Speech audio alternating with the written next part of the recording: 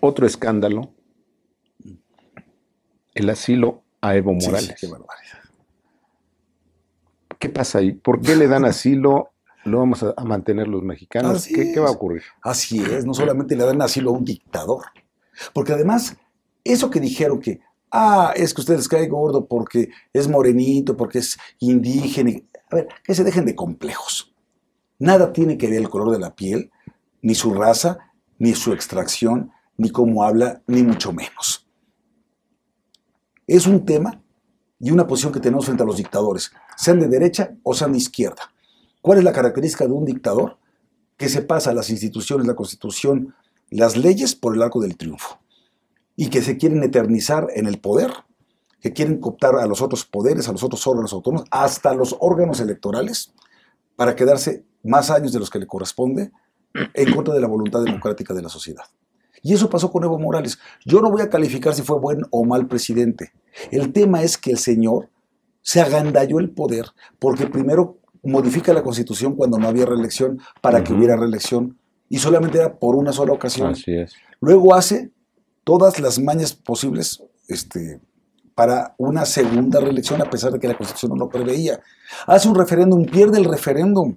Entra a esa segunda elección o segunda para su segunda reelección y no gana con los 20 puntos que necesitaba para evitar la segunda vuelta. Y cuando están haciendo el cómputo, se les cae el sistema. Me imagino que con la asesoría de Manuel Bartlett.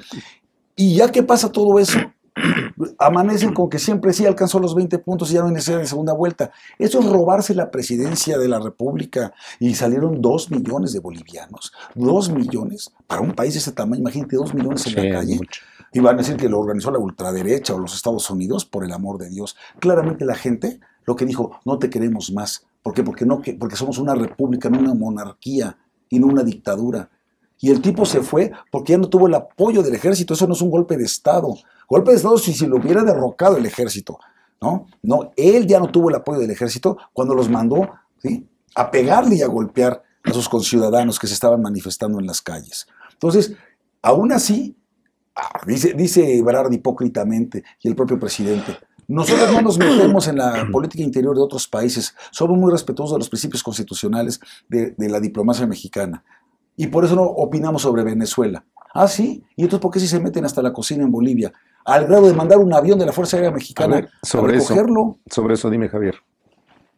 Los gobiernos de Cárdenas, Echeverría, López Portillo y algunos otros daban asilo a los perseguidos por las dictaduras. Es distinto. Hoy se da asilo a los dictadores. Sí. ¿Qué significa? Pues ¿qué significa? Que estamos en un régimen que está de cabeza, que es un régimen que no entiende absolutamente nada, porque todavía me quieren salir, y la comunidad libanesa, y los españoles, y los que llegaron. Sí, pero ellos salieron corriendo de sus países por ser verdaderamente perseguidos políticos o porque su vida corría peligro.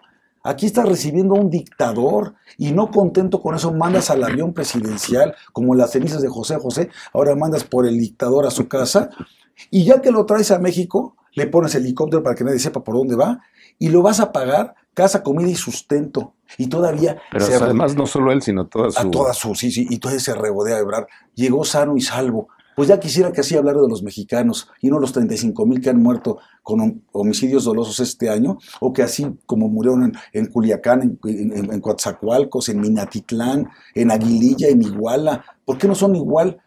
¿Por qué no son igual de empáticos y se, y se conduelen con las familias y con las familias de las víctimas? Y sí, con Evo Morales, ahora sí, un gesto humanitario. Es un gesto de hipocresía. Y yo como mexicano estoy furioso porque yo no quiero que con mis impuestos mantengan ese Aragán dictador en mi país, que además está haciendo política, porque esas conferencias de prensa y esas opiniones es hacer política. Y eso es contrario al 33 constitucional. Dime una cosa, eh, vamos a cambiar un poquito el, el- el tema. Eh, bueno, pues hubo otra situación también ilegal allá en Baja California. Ah, ¿cómo Imponen no? eh, gobernador a Bonilla, que por cierto tú no le quisiste saludar. Claro que no. Te lo encontraste. Sí, me lo encontré. ¿Qué significa ese otro golpe? ¿Es después de la, de la Comisión de Derechos Humanos? Este es otro golpe. Sí, claro que es un golpe. ¿Por qué? Porque hay que recordar a la población lo que pasó en Baja California. Jaime Bonilla gana las elecciones y con muy amplio margen. Eso está fuera de discusión. Lo que pasa es que el periodo para el que se eligió a Jaime Bonilla era un periodo de dos años. ¿Por qué de dos años? Para empatar con las elecciones federales del 21. Ese era el único propósito. Y casos como este, vimos en Puebla con Tony Gali, vimos en Veracruz con Miguel Ángel Yunes, que tuvieron dos años o hasta menos de dos años. Tony Gali tuvo 22 meses de gobierno, pero ¿para qué? Para empatar con la elección presidencial de la federal. Bueno, y ese era el propósito de esta elección de dos años. Ya que gana Jaime Bonilla, llegan los diputados del Congreso local de Baja California, y me imagino que con una buena, un buen incentivo económico, los de oposición, PAN, PRI, se suman a los de Morena y le dan la mayoría necesaria para modificar la constitución y decir que el periodo por el cual va a gobernar Bonilla va a ser no de dos años, sino de cinco. Es decir, el plazo de cinco viene después de la elección que ya ganó Jaime Bonilla. eso, es, eso es darle retroactividad a la ley en perjuicio de toda la sociedad y de toda la población que votó sobre una base de dos años. Eso sí es también, eso es más un golpe de Estado que las payasadas que habían venido diciendo tanto Evo Morales como el presidente López Obrador.